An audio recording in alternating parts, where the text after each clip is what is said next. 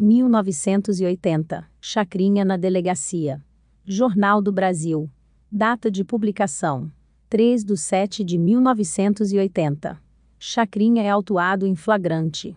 São Paulo, uma atitude temperamental e a repreensão a uma censora da Polícia Federal, que não se identificou, valeram ao animador Abelardo Barbosa, o Chacrinha, um auto de prisão em flagrante e o pagamento de fiança estipulada em 10 mil cruzeiros, além de uma crise emocional que exigiu a aplicação de oxigênio a expressas.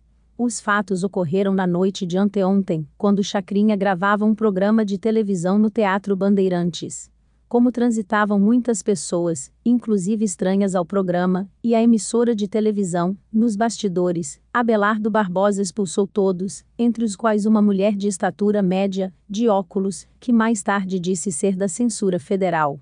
Diante da alegação, ela foi autorizada a permanecer nos bastidores.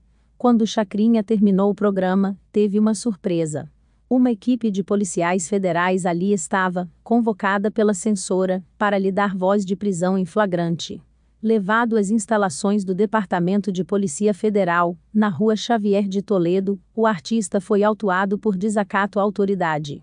A censora, que procurou fugir de toda forma a qualquer contato com a imprensa, alegou no seu depoimento que fora verificar a indumentária das chacretes, que estavam um tanto abusivas entretanto, não deu outras explicações, mesmo durante as quatro horas e meia, em que Abelardo Barbosa permaneceu na Polícia Federal para o auto de flagrante, presidido pelo delegado Antônio Carlos Veronese, que liberou posteriormente.